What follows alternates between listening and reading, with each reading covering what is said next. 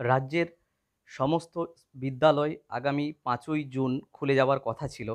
কিন্তু একত্রিশ পাঁচ দু তেইশ তারিখ পশ্চিমবঙ্গ সরকারের স্কুল এডুকেশন ডিপার্টমেন্ট পুনরায় বিজ্ঞপ্তি দিয়ে জানালেন, আপাতত বিদ্যালয় খুলছে না।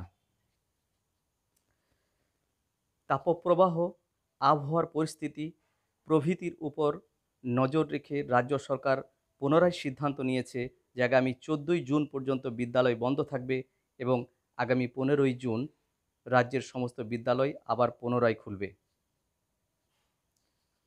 সুতরাং এই বিজ্ঞপ্তি অনুসারে আগামী পনেরোই জুন রাজ্যের সমস্ত বিদ্যালয় খুলে যাচ্ছে।